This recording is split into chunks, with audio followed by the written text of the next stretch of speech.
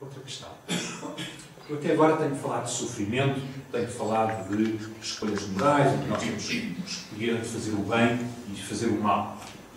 Mas qual é a diferença entre sofrimento e o mal?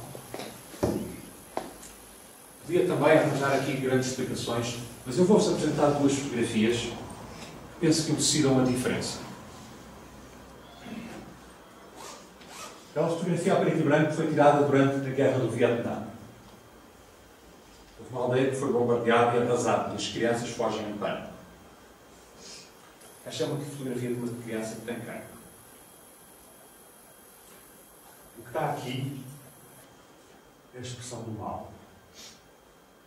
Há um ato humano de deliberadamente causar sofrimentos a outros danos quem bombardeou aquela aldeia, quem viu o bombardeamento, tinha noção do bem e do mal.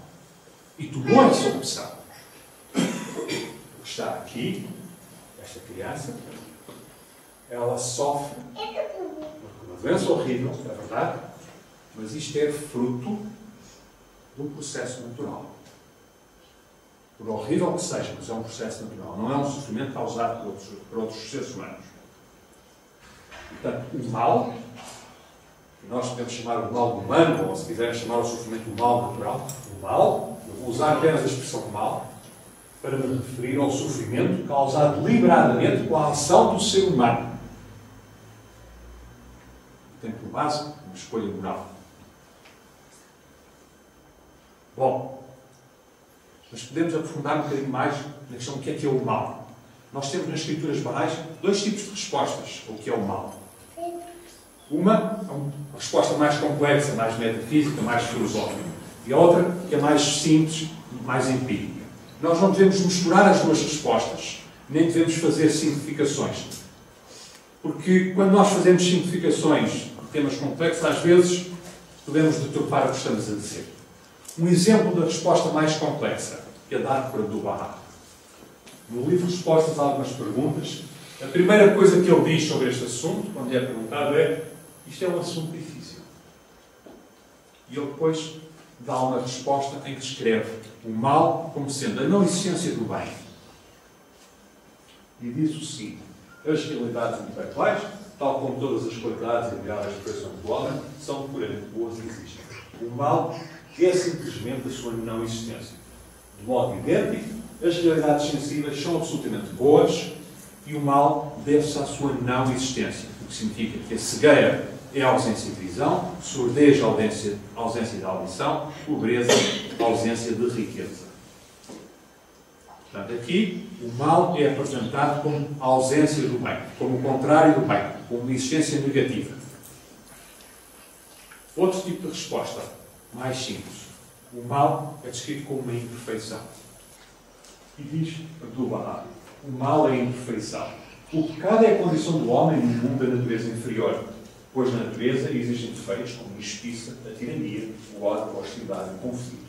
Através da educação, devemos libertar-nos destas imperfeições.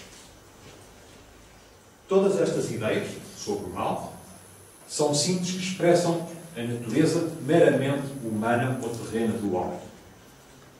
O mal como imperfeição. Considerem, por exemplo, a oração do Pai Nosso que está na Bíblia. Ele tem uma frase que diz não nos deixeis cair tentação e livrai-nos do mal.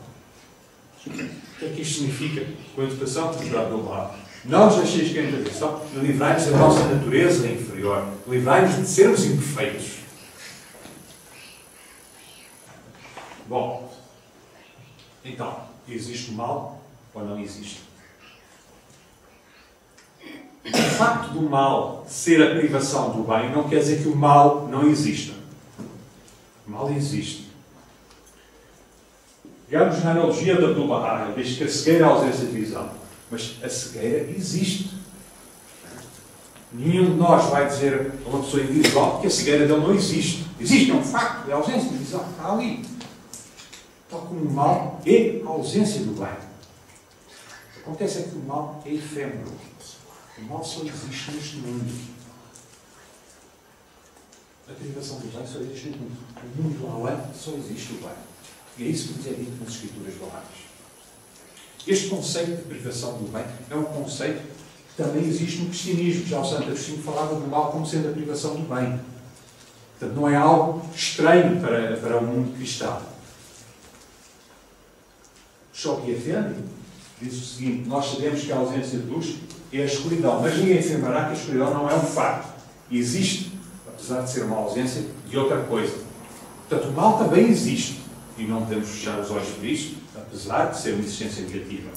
Devemos procurar suplantá-lo com o bem.